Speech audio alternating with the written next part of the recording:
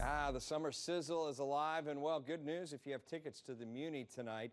Looks like temperatures will be cooling off during the show or just before the show thanks to a couple of thunderstorms. Timing wise, makes it a, an iffy call for tonight, though. I do think they'll get the show in. Uh, it is a production of Rodgers and Hammerstein's Cinderella at the Muny all the way through the 16th of the month. After tonight's iffiness because of the heat and thunderstorms, perfect weather for going to the Muny all the way in.